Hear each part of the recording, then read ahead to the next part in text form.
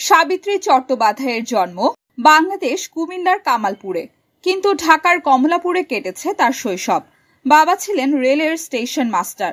তবে তার বাবা শশধর চট্টোপাধ্যায়ের কর্মস্থল ছিল ফুলবাড়িয়ায়, যেখানে ছিল ঢাকার পুরনো রেল স্টেশন। সাবিত্রী চট্টোপাধ্যায়রা ছিলেন দশ বোন এবং কোনো ভাই ছিল না। উনিশশো সাতচল্লিশ সালে দেশভাগের পর ভারতে চলে গিয়েছিলেন কিশোরী বয়সে।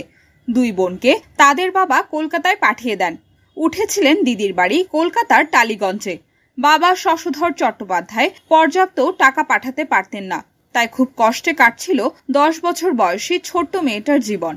স্কুলে ভর্তি হয়েছিলেন ক্লাস থ্রিতে। আধ পেটা খেয়ে কাটিয়ে দিতে হতো দিন। কখনো কখনো ভালো খাওয়ার লোভে আত্মীয়দের বাড়ি চলে যেতেন রাতে। কিন্তু কিছুদিনের মধ্যেই আত্মীয়রা ফোন দিটা টের পেল। তখন সেখান থেকেও আতপেটা খেয়ে ফিরতে হতো। কলকাতা দেখার শখ ছিল সাংঘাতিক। স্টিমারে করেই এসেছিলেন শহর দেখতে। তারপর ভাগ্যক্রমে ইন্ডাস্ট্রির অন্যতম লিডিং হিরোইন হয়ে উঠেছিলেন তিনি। ইচ্ছে ছিল কাননবালা হবেন।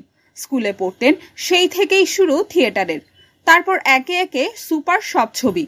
উত্তম থেকে সৌমিত্র, তার প্রশংসায় পঞ্চমুখ ছিলেন সকলে। উত্তম কুমার একবার জানিয়েছিলেন ওর সঙ্গে শট দিতে গেলে রীতিমতো ভাবতে হয়। এত সাফল্য। আজও কাজ করছেন চুটিয়ে। কিন্তু নিজের বাস্তব জীবনে বড্ড নিঃসঙ্গ তিনি। কিন্তু বিয়ে কেন করলেন না? রিয়েলিটি শো এর মঞ্চে যা মজার কথা বললেন, সাবিত্রীর নব্বইয়ের কাছাকাছি বয়স। যেমন সুন্দর দেখতে ছিলেন এক সময় তেমনই ছিল গুণ। কিন্তু বিয়ের পিড়িতে বসা হয়ে ওঠেনি কিংবদন্তির। তিনি মজার ছলেই জানান, যখনই প্রেম করতে গিয়েছেন, দেখেছেন তার একটা বউ আছে। কখনো খালি কাউকে পাননি তিনি। জীবনের এটাই একটা আক্ষেপ, বলেই হেসে ফেলেন। এমনকি এও বলেন, আজও যদি পারি তো বিয়ে করব। এই বয়সেও ভয়ঙ্কর স্পিরিট এক বিন্দু কাজ ছেড়ে নেই। সাবিত্রী চট্টোপাধ্যায়কে জীবন্ত কিংবদন্তি বললেও কম বলা হবে।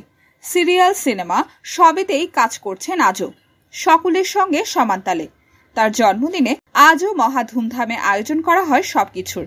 অভিনেত্রী বলেন আমি লং ফ্রক পরি জন্মদিনে। আমায় কি সুন্দর লাগে দেখতে।